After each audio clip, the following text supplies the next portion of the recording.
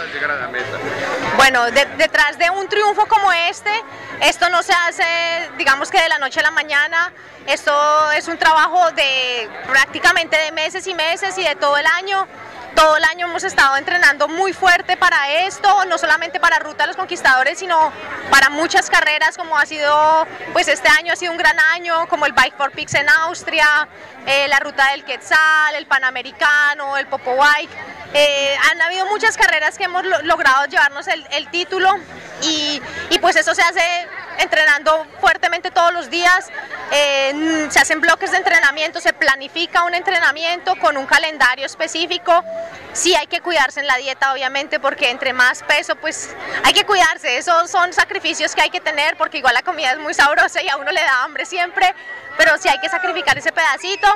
y detrás también está pues el entrenador y pues el masajista y nuestro grupo de apoyo porque pues sin la logística y sin el patrocinador principal que nos motiva a llevar a, esas carreras pues no podríamos ir. Bueno, eh,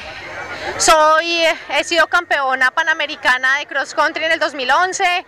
eh, he sido tres veces campeona panamericana, actual campeona panamericana de maratón, he ganado tres rutas de los conquistadores, eh, pues el Bike for Peaks en Austria este año. He tenido varios títulos, campeona nacional cross country de Colombia,